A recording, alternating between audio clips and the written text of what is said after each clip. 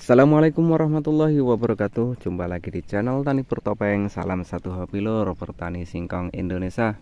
Oke lor di video kali ini Saya tidak berpanjang lebar. Saya akan mengambil topik Memperbandingkan sistem kubur Dengan sistem berdiri Di lahan yang Sama ya luasnya. Di sini 12 kali 50 di sini 12 kali 50 jadi sudah saya hitung batangannya yang sistem berdiri 12 kali 50 12 setengah itu lariannya ada 23 mungkin kurang lebih jarak antar larian 58 atau 57 cm dan setiap larian ada 105 kurang lebih sudah saya hitung tadi 3 pare 105 106 105 jadi populasinya ada 2415 dan yang ini sistem kubur itu 12 setengah itu ada 18 larik dan setiap larik ada 80 kurang lebih itu 8 dikali 18 1440 populasi batang. Di lahan yang sama sistem tanam berbeda ya. Sistem kubur ada 1440 batang dan ini ada 2400 115 batang. Serisih 1000 karena kalau sistem kubur tanam terlalu rapat nggak bagus seluruh ya. Ini ada sudah rapat sekitar 70 kali 60 cm dan ini mungkin 58 kali 45 cm populasinya.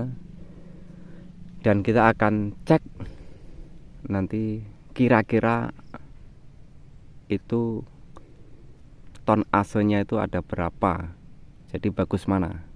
Oke kita akan masuk dan kita akan timbang. Oke lir di sistem berdiri yang 12,5 kali 50 tadi luas, luas lahan itu ada tiga jenis yaitu Garuda, Skoci dan Thailand. Kita akan sampel Garuda Thailand 1, Garuda 1 dan Skoci 2 untuk Garuda semuanya itu batangnya tinggi-tinggi lor ya. Kita acak yang sedang-sedang saja nggak bagus nggak jelek. Oke lor coba ini Garuda nih. Apa ini yang agak jelek ya? Ini aja yang nggak jelek. Garuda kita coba sabut loh kok nggak buah lor apa rapat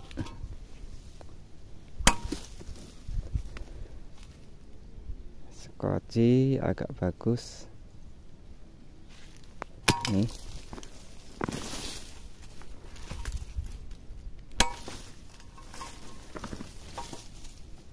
Dan yang agak jelek.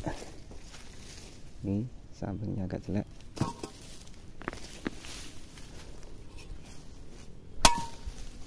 Dan kita ambil Thailand.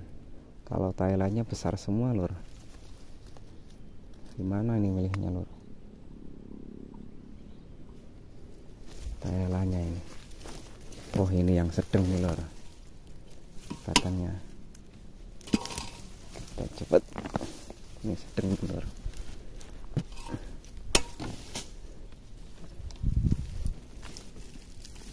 Oke kita udah ada sampel. Ini kita bawa ke pinggir dan kita timbang ada berapa Oke lor, kita sudah ambil 4 sampel. Ini skoci yang agak jelek, ini yang agak bagus, dan ini Thailand, dan yang itu Garuda. Oke, kita timbang satu persatu lur. Skoci dulu lur.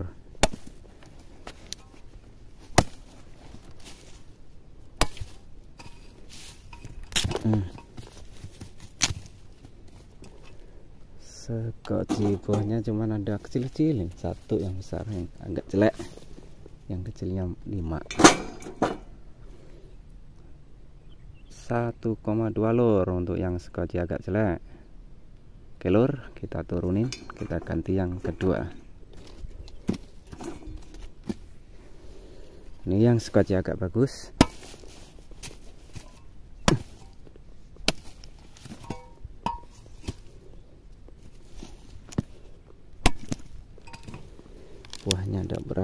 kecil-kecil ini lur. Sistem tanam rapat. Satu dua tiga empat lima enam tujuh. Ada tujuh? Ya kan ini lur? 1,9 lur. Sini. Tadi di sebelah teman 1,4 ini ya asal aja 1,9 yang scotch agak bagus 1,9 ini lur ini sambil motong sambil video nggak pakai tripod jadi agak susah. Oke kita turunin kita coba yang Thailand.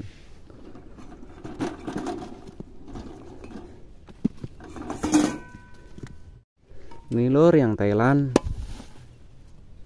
Sangat berbobot tapi pendek-pendek buahnya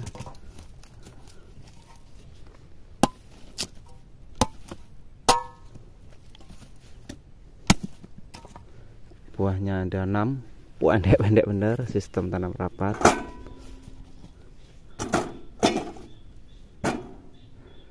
Ada 1,4 lur. Ini lur jelas lur 1,4 ini tidak ada rekayasa. Untuk apa rekayasa ini? Mau sama jual? Nanti malah di rekayasa kita salah hitung. 1,4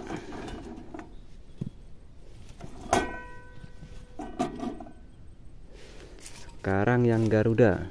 Ini lur Garuda lur nggak tahu sini kok buahnya jelek aku nggak tahu Garuda di sini. Yang Garuda ada 5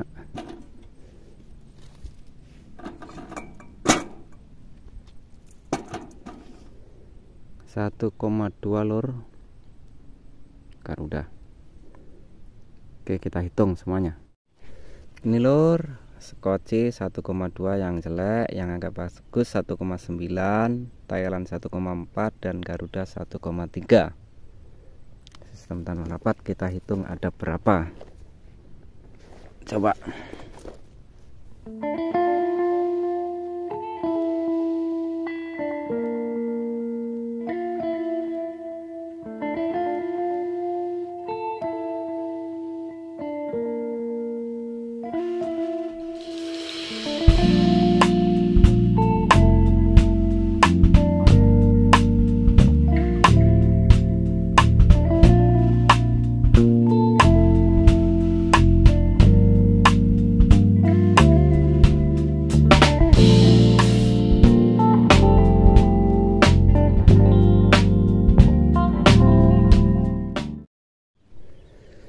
Oke lor, sekarang kita akan ambil sampel yang sistem kubur tiga patang yang agak jelek ya, jangan bagus ya untuk memperkirakan.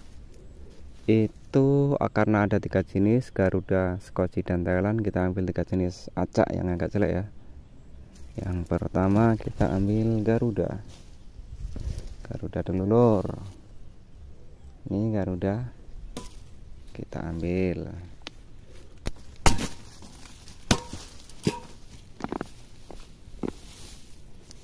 Ini lor Garuda lor kalau sistem kubur lor bagus lor ya enggak Garuda lor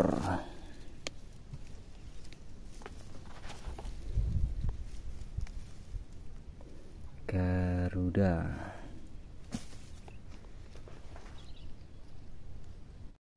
Kita cari yang sekoci skoci mana skoci ini? Ini aja lur. Yang mudah lur. Skoci lur.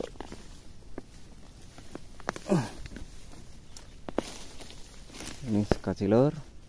Pokoknya asal kita ambil yang agak jelek.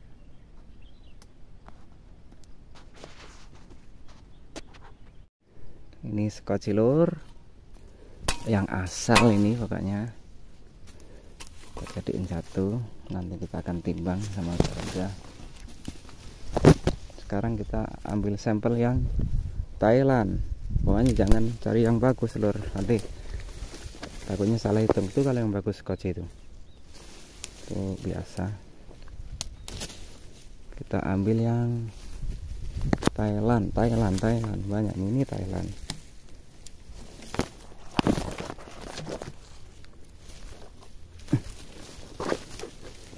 Thailand. Oh Thailand.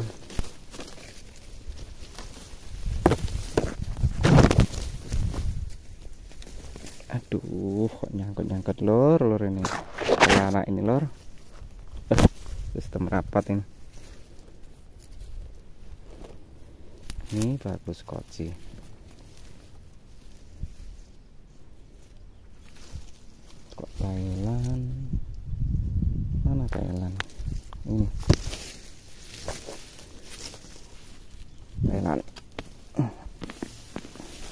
lor Thailand. Asal asal tuh skoci bagus. Kita jadiin satu kita bawa keluar. Oke lor kita bawa keluar dulu lor uh. Duh, susah sambil video ya. Matiin dulu videonya. Oke lor kita sudah coba yang sistem kubur ini. Garuda skoci Thailand. Kita coba pretelin timbang satu persatu yang Garuda dulu ya.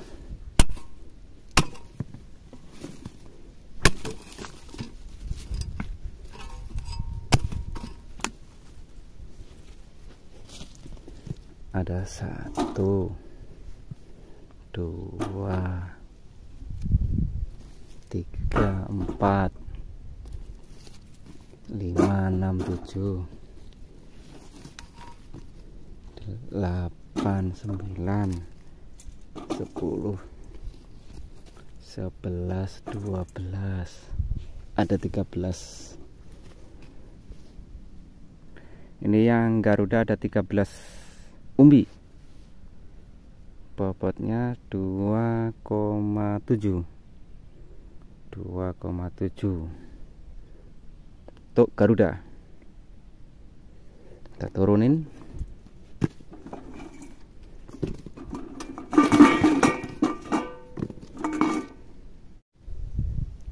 Garuda lur satu pohon. Kita akan coba yang skoci lur.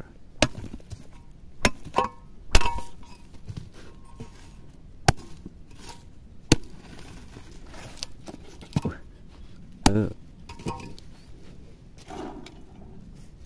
ada lima. 1,9 lur. 1,9 kita turunin kita ganti yang Thailand.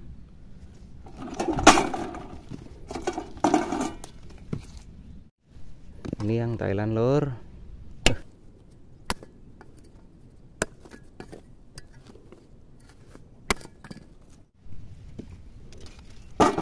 dua tiga empat lima enam delapan sembilan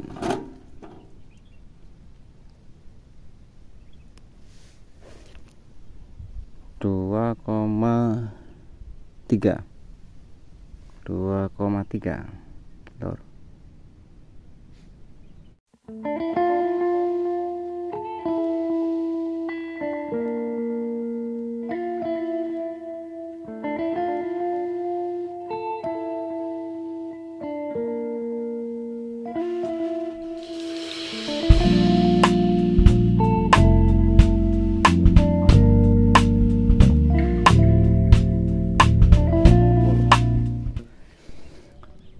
Jadi jika dikalkulasi di sistem berdiri ini ada rata-rata 1,4 dikali jumlah batang yaitu 2415 ada 3 ton 3 kintal 81 jika dihitung per hektar ada 3 ton 3 ton 3 kintal 81 dikali 16 berarti jika dikalkulasi per hektarnya ada 54 ton ya sistem berdiri umur 8 bulan setengah. Tanaman skoci lor ya.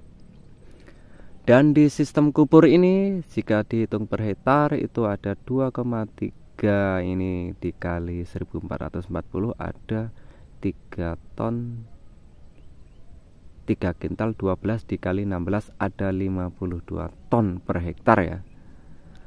Dan, jadi dari, dari pengalaman saya ini sistem kubur dengan sistem berdiri masih tetap bagus sistem berdiri lor ya.